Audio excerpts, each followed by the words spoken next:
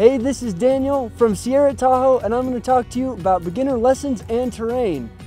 Sierra Tahoe is known as the place to learn to ski and ride, and we are so stoked to have you learn at our mountain. We have lots of options, starting with Wild Mountain Ski and Ride School. We have three programs, our Pioneer program for ages four to six, our Explorer program from six to 12, and then we have our Adult Ski and Ride program for anybody looking to progress from the ages of 13 and up.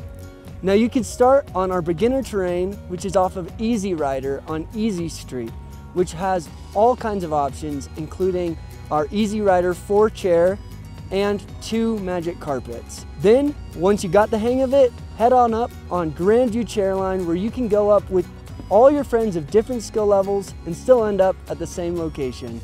You're gonna wanna ride down Sugar and Spice, which is a nice sloping two and a half mile route where you can practice your turns and all your different skills in your progression.